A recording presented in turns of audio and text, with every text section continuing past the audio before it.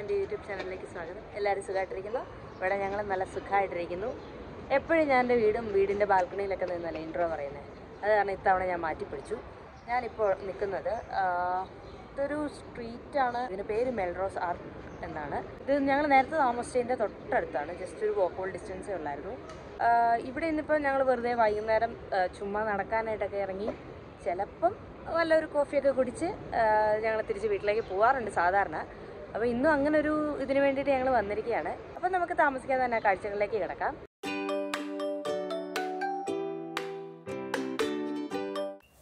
South ആഫ്രിക്കയിൽ ഇപ്പോൾ spring സീസണാണ്. ഈ ഒരു സമയത്ത് റോഡിന്റെ ഇരുവശത്തും ഈ ജക്രാന്ത പൂക്കൾ ഇങ്ങനെ വിരിഞ്ഞു നിൽക്കുന്നതാണ് നല്ല ഭംഗിയാണ്. ഈ ഒരു സീസൺ എന്ന് പറയുമ്പോൾ തന്നെ ഇവിടെയുള്ളവരുടെ മനസ്സിലേക്ക് പെട്ടെന്ന് വരുന്നതും ഈ ഒരു പൂക്കൾ തന്നെയായിരിക്കും. വരുന്ന വഴിക്ക് ഇത് കണ്ടപ്പോൾ നിങ്ങളെ കൂടെ കാണിക്കാൻ വേണ്ടി ഞാൻ ഈ ഒരു വീഡിയോ എടുത്താണ്. ഇത് കണ്ടോ? ഇവിടെ ഒരു സ്റ്റീച്ചു എന്റെ ബാക്കിൽ നിങ്ങൾക്ക് കാണാം. അത് എന്താണ് മനസ്സിലായില്ല. ഞാൻ അതിന് ചുറ്റും ശരിക്കും നോക്കി. സാധാരണ എന്തെങ്കിലും ഒരു സ്റ്റാച്ചു വെച്ച് കഴിഞ്ഞാൽ അതിന്റെ സൈഡിൽ എന്തെങ്കിലും അതിനെപ്പറ്റി എഴുതി വെക്കുമല്ലോ. അപ്പം അതെന്താണെന്ന് പറയാൻ ഞാൻ നോക്കിയിട്ട് അതിന്റെ പുറയിലൊന്നും കണ്ടില്ല. എന്റെ ഈ ബാക്കിൽ കാണുന്നത് ഇസ്താൻബുൾ കബാബ് എന്ന് പറയുന്ന ഒരു റെസ്റ്റോറന്റ് ആണ്. കൂടുതലും ഇസ്താൻബുൾ തുർക്കിഷ് ഫുഡൊക്കെ ഇവിടെ നന്നായിട്ട് കിട്ടും. ഇവിടുത്തെ കുറച്ച് ഐറ്റംസ് ഒക്കെ ട്രൈ ചെയ്തിട്ടുണ്ട്. നല്ല ടേസ്റ്റ് ആയിരുന്നു. ആ, ഞാൻ ഇനി എപ്പോഴെങ്കിലും നെക്സ്റ്റ് ടൈം അവിടെ കയറുമ്പോഴത്തേക്ക് ഇന്നിപ്പോൾ ഞങ്ങൾക്ക് അങ്ങനെ ഹെവി ഫുഡൊന്നും കഴിക്കാനായിട്ടൊരു പ്ലാനില്ല ഞങ്ങൾ ആക്ച്വലി പൊറോട്ട ഞാൻ ഇന്ന് കുറച്ച് വീട് ക്ലീനിങ് ഒക്കെ ആയിരുന്നു. അത് കാരണം ലഞ്ച് ഒന്നും കുക്ക് ചെയ്തില്ല. അത് കാരണം ഞങ്ങൾ ഉച്ചയ്ക്ക് പൊറോട്ടയും ചിക്കനും വാങ്ങിച്ചു. അത് നല്ല ഹെവി ആയിട്ട് കഴിച്ചത് കാരണം വിശക്കുന്നില്ല. അതുകൊണ്ട് ഇന്ന് ഇനിയിപ്പോൾ വൈകിട്ട് അത്രയും ഹെവി ആക്കണ്ടെന്ന് വിചാരിച്ചു. വല്ല കോഫിയോ സ്നാക്സോ അങ്ങനെ വല്ലതും ചിലപ്പോൾ പോകുന്നതിന് മുമ്പായിട്ട് കുടിക്കും. റെസ്റ്റോറന്റിന്റെ മുമ്പിലായിട്ട് വലിയൊരു സ്ക്രീൻ അവർ വെച്ചിട്ടുണ്ട്. ഫുട്ബോൾ ക്രിക്കറ്റ് അങ്ങനെയുള്ള കളികളൊക്കെ ഉള്ള സമയത്ത് അവരത് ഇവിടെ പ്ലേ ചെയ്യുകയും ആൾക്കാരെല്ലാവരും കൂടി ഇവിടെ ഇരുന്ന് ഫുഡ് കഴിക്കുകയും കളി കാണുകയും എല്ലാം കൂടെ ഒക്കെ ചെയ്ത് ഭയങ്കര ഒരു ആഘോഷമായിരിക്കും. നമ്മളെല്ലാവരും കൂടെ ഇരുന്ന് കളിയൊക്കെ കാണുക എന്ന് പറഞ്ഞാൽ അതൊരു പ്രത്യേക വൈബാണ് നല്ല രസമാണ് അതൊക്കെ. അതുപോലെ ഈ ക്രിക്കറ്റിനെ പറ്റി കുറച്ചൊക്കെ അറിയാവുന്ന കുറച്ച് ആൾക്കാർക്കെങ്കിലും അറിയായിരിക്കും വാണ്ടർ സ്റ്റേഡിയം അത് ഇതിന്റെ തൊട്ടടുത്ത് തന്നെയാണ്. അപ്പം ഇവിടെ ക്രിക്കറ്റ് കളിയുള്ള സമയത്തൊക്കെ നല്ല തിരക്കായിരിക്കും. ഞാൻ മുമ്പ് പറഞ്ഞ പോലെ ഇവിടെ ആളുകൾ താമസിക്കുന്നുണ്ട്. ഷോപ്പിങ്ങിന് വേണ്ടിയിട്ടൊരു മോളുണ്ട്. നമുക്ക് ഫുഡ് കഴിക്കാനാണെങ്കിൽ കുറേ റെസ്റ്റോറൻസ് ഉണ്ട്.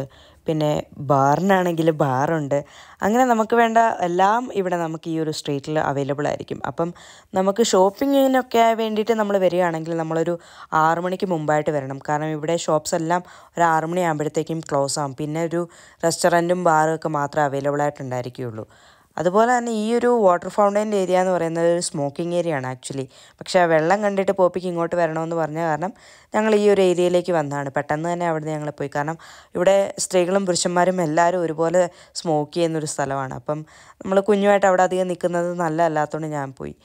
ഇത് നമ്മുടെ നാട്ടിൽ ഉണ്ടോ ഇല്ലെന്ന് എനിക്ക് ഓർമ്മയില്ല. ഇല്ലെന്നാണ് എനിക്ക് തോന്നുന്നത്. ഈ ഒരു പെഡസ്ട്രിയൻ ക്രോസിങ്ങിന് വേണ്ടിയിട്ട് ഉള്ളൊരു ഈ ഒരു സ്വിച്ച് അതിന് പറയുന്ന പേരൊന്നും എനിക്കറിയില്ല. അതായത് നമ്മൾ ക്രോസ് ചെയ്യണമെന്നുണ്ടെങ്കിൽ നമ്മളതിൽ പ്രസ് ചെയ്ത് ഗ്രീൻ വന്ന് കഴിയുമ്പോഴത്തേക്കും നമുക്ക് റോഡ് ക്രോസ് ചെയ്യാം. ഈ കാണുന്ന ടൈഗേഴ്സ് മിൽക്ക് എന്ന് പറയുന്നത് ഇവിടുത്തെ ഒരു ബാറാണ് ഓടി വന്ന പോപ്പി പെട്ടെന്ന് സ്റ്റക്കായത് അവിടെ കുറച്ച് ക്യാൻഡിൽസ് ഒക്കെ കത്തിച്ച് വെക്കുന്ന കണ്ടിട്ടാണ്. അവൻ ഓർത്തു അവിടെ ആരുടെ ബർത്ത്ഡേ സെലിബ്രേഷനാണ് അപ്പോഴത്തേക്കും ഞാൻ പിന്നെ പുറകെ പോയി അവനെ വിളിച്ചുകൊണ്ട് വന്നു. ബർത്ത്ഡേക്ക് മാത്രമല്ല നമ്മൾ തിരികെ കത്തിക്കുന്നതെന്നൊക്കെ പറഞ്ഞിട്ട്. പക്ഷേ അവൻ ബർത്ത്ഡേ ആണെന്ന് വിചാരിച്ചിട്ട് അവിടെ നിന്ന് ആ ഒരു ആൾക്ക് ഹാപ്പി ബർത്ത്ഡേ ഒക്കെ പാടിക്കൊടുത്തിട്ടാണ് വന്നത്. പിന്നെ പിള്ളേരല്ലേ അത് കാണുന്നവർക്കും ഒരു രസമായതുകൊണ്ട് അവരും അത് എൻജോയ് ചെയ്തു. ഇവിടെ ആക്ച്വലി ക്രിസ്മസ് ടൈമിൽ ഞാനിവിടെ ക്രിസ്മസ് ഒക്കെ അടുക്കാറായ സമയത്താണല്ലോ. ഇവിടെ ക്രിസ്മസ് ടൈമിൽ ഭയങ്കര രസമായിരുന്നു. ലൈറ്റൊക്കെ ഇട്ടിട്ട് കുറേ അവർ ഡെക്കറേഷനൊക്കെ ചെയ്ത് നല്ല ഭംഗിയായിരുന്നു ഇവിടെ കാണാനായിട്ട്. ഇപ്പോഴാണേലും ഇരുട്ടിയിട്ടില്ല? ഇപ്പം ആറു മണി കഴിഞ്ഞു. ഇപ്പം പതുക്കെ സമ്മറൊക്കെ ആവാറായതുകൊണ്ട് ഇരുട്ടാനൊക്കെ കുറച്ചും കൂടെ താമസിക്കും. നിങ്ങൾക്കാണേലും കാണാമല്ലോ നല്ല വെട്ടമുണ്ട്. ഈ ഒരു ഏരിയയിലേക്ക് ആക്ച്വലി വണ്ടികൾക്കൊന്നും പ്രവേശനമില്ല. അതുകൊണ്ട് തന്നെ അതിന്റെ നടുക്കായിട്ട് അവർ കുറച്ച് ചെടികളൊക്കെ വെച്ച് കുറച്ച് ഭംഗി കൂട്ടിയിട്ടുണ്ട്. ഇതിന്റെ ഒരു വശത്ത് റെസ്റ്റോറന്റുകളും മറ്റൊരു വശത്ത് കോഫി ഷോപ്പുകളും ഒക്കെ ആയിട്ടാണ് വരുന്നത്. വർഷത്തിൽ പലരുടെയും ഫേവറേറ്റ് ആയിട്ടുള്ള ഒരു ടൈം എന്ന് പറയുന്നത് നമ്മുടെ ഒരു ക്രിസ്മസിന്റെ സമയമായിരിക്കും. ആ ഒരു സമയം എന്ന് പറഞ്ഞാൽ നമുക്ക് വീടും സ്ട്രീറ്റ്സും എല്ലാം നല്ല മനോഹരമായിട്ട് അലങ്കരിക്കുന്ന ഒരു സമയമാണ്. ഇവിടെ ക്രിസ്മസിന്റെ അലങ്കാരങ്ങളൊക്കെ ഒക്ടോബർ അവസാനം അല്ലെങ്കിൽ നവംബർ ആദ്യത്തോടു കൂടിയൊക്കെ ആരംഭിക്കും. അതൊരു ജാനുവരി പകുതി അല്ലെ ജാനുവരി അവസാനം വരെ അത് അങ്ങനെ തന്നെ ഉണ്ടാവും. അപ്പോൾ ഈ ഒരു സ്ട്രീറ്റും അതുപോലെ തന്നെയാണ്. ലൈറ്റും കുറേ ഡെക്കറേഷനും ഒക്കെ ആയിട്ട് നല്ല മനോഹരമായിട്ട് അലങ്കരിക്കുന്ന ഒരു സമയമാണ് ക്രിസ്മസിന്റെ സമയം. ഞാൻ ജോനാസ്ബർഗിൽ വന്നത് ഒരു ഡിസംബർ മാസമായിരുന്നു. വന്നതിന്റെ പിറ്റേ ദിവസം നമ്മൾ വെറുതെ ഒന്ന് പുറത്തേക്ക് ഇറങ്ങുക എന്ന് പറഞ്ഞ് ഞങ്ങൾ ഇറങ്ങിയത് ഇങ്ങോട്ടേക്കായിരുന്നു. ആ ഒരു സമയം ഇവിടെ നല്ല ഭംഗിയായിട്ട് അലങ്കരിച്ചൊക്കെ വെച്ചിരിക്കുന്ന കാരണം എനിക്ക് ഭയങ്കരമായിട്ട് ഇഷ്ടപ്പെട്ടു. അതിമനോഹരമായിരുന്നു അന്ന് ഇവിടെ കാണാനായിട്ട്. ഇവിടെ ഈ കാണുന്ന ഈ ഷോപ്സ് എല്ലാം ഓൾറെഡി ക്ലോസ്ഡ് ആയി. സമയം ആറു മണി കഴിഞ്ഞുകൊണ്ട് എല്ലാം അടച്ചിട്ടുണ്ടായിരുന്നു. അതുകൊണ്ട് എനിക്കങ്ങനെ കടയ്ക്കുള്ളിൽ പോയിട്ടോ അല്ലെ ഇവിടെ എന്തൊക്കെ അവൈലബിൾ ആണെന്ന് എനിക്കധികം കാണിക്കാൻ പറ്റില്ല. ഇതാണ് മുകളിലേക്കുള്ള എൻട്രി ഞാൻ മുമ്പ് നിങ്ങളോട് പറഞ്ഞിട്ടുണ്ടല്ലോ നമ്മുടെ നാട്ടിനേക്കാളും ഭയങ്കര പച്ചപ്പാണ് ഇവിടെ. ഇവിടെ ഉള്ളവർ ഭയങ്കര പ്രകൃതി സ്നേഹികളാണെന്ന് തോന്നി ഈ മാളിനുള്ളിലും ഓഫീസിനുള്ളിലും ഒക്കെ നമുക്ക് ഇതുപോലെ നല്ല പ്ലാൻസ് ഒക്കെ കാണാൻ പറ്റും. ആക്ച്വലി കടകളൊക്കെ മാത്രമല്ല കുറച്ച് ഓഫീസുകളും ഒക്കെ ഉണ്ട്. അതുകൊണ്ട് തന്നെ ഇപ്പം ഓഫീസുകളിലൊക്കെ ക്ലോസ് ആയിട്ട് ആൾക്കാരൊക്കെ വീട്ടിൽ പോകുന്ന ടൈമൊക്കെ ആയി. ഇവിടെയുള്ള ആളുകളൊക്കെ നല്ല വർക്ക് ലൈഫ് ബാലൻസ് ഉള്ള ആൾക്കാരാണ്. ഇത് നമ്മൾ പോയത് ഒരു വീക്ക് ഡേ ആയതുകൊണ്ട് തന്നെ നിങ്ങൾക്ക് കാണാൻ പറ്റും. സ്ട്രീറ്റ്സ് ഒക്കെ നല്ല ഒഴിഞ്ഞു കിടക്കുകയാണ്. വീക്കെൻഡ്സ് ഒക്കെ ആണെങ്കിൽ ഇവിടെ നല്ല തിരക്കായിരിക്കും. നല്ല ആളും ബഹളവും തിരക്കും എന്തെങ്കിലുമൊക്കെ പ്രോഗ്രാംസും ഒക്കെ ആയിട്ട് നല്ലൊരു ആഘോഷമായിരിക്കും ഇവിടെ. ഈ കാണുന്ന സ്ഥലത്തായിരിക്കും എന്തെങ്കിലുമൊക്കെ ആക്ടിവിറ്റീസോ അല്ലെങ്കിൽ ഇവൻസോ ഒക്കെ നടക്കാറ്. ആ മാരിറ്റ് ഹോട്ടൽ കണ്ടോ? അതിന്റെ നേരെ ഓപ്പോസിറ്റ് ആയിരുന്നു ഞാൻ ആദ്യം വന്ന സമയത്ത് താമസിച്ചുകൊണ്ടിരുന്നത്. ഞാൻ നിങ്ങളെ വീഡിയോ ഒക്കെ എടുത്ത് കാണിക്കാൻ പോയ ആ സമയത്ത് ബെൻസന്റെ ഫ്രണ്ട് അവിടെ വന്നു. ഞങ്ങൾ മുമ്പ് താമസിച്ചിരുന്ന സ്ഥലമെന്ന് പറഞ്ഞില്ലേ? അവിടെ തന്നെ മറ്റൊരു വീട്ടിലാണ് ബെൻസന്റെ ഈ ഒരു ഫ്രണ്ടും താമസിക്കുന്നത്. ഞങ്ങളവിടെ ഉണ്ടെന്ന് അറിഞ്ഞപ്പോഴത്തേക്കും പോപ്പിയെ കാണാനും അവന്റെ കൂടെ കുറച്ചു നേരം കളിക്കാൻ വേണ്ടിയിട്ടൊക്കെയാണ് ആളവിടെ വന്നത്. വീഡിയോ എടുത്ത് വന്നപ്പോഴാണ് ഇവിടെ ഒരു ഇന്ത്യൻ റെസ്റ്റോറന്റ് ഉള്ള കാര്യം ഞാൻ ശ്രദ്ധിക്കുന്നത് തന്നെ. ഇത് പക്ഷേ ഇവിടെ മൈഗ്രേറ്റ് ചെയ്ത് വന്ന ഇന്ത്യൻസിന്റെ അവിടെ തന്നെ നമ്മുടെ ആ ഒരു ടേസ്റ്റൊന്നുമല്ല ഹെവി ആയിട്ടൊന്നും കഴിക്കുന്നില്ല. ഒരു കോഫി മാത്രം കുടിക്കുക എന്നും പറഞ്ഞ് തീരുമാനിച്ച് വന്ന ഞങ്ങളാണ്.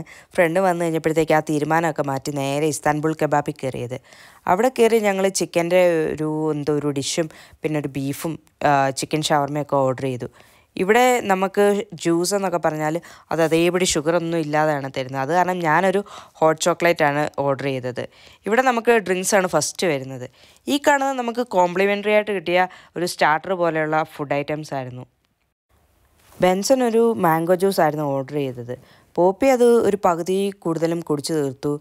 ഞാനും അതുപോലെ തന്നെ അത് അവൻ കുടിക്കുന്ന കണ്ടപ്പോഴത്തേക്കും നല്ല ടേസ്റ്റ് ഉണ്ടാവുമെന്ന് തോന്നി. ഞാനും അതിൽ നിന്നൊരു സിപ്പ് എടുത്തു. എനിക്ക് ഭയങ്കരമായിട്ട് ഇഷ്ടപ്പെട്ടായിരുന്നു. നല്ല ടേസ്റ്റ് ഉണ്ടായിരുന്നു അത്.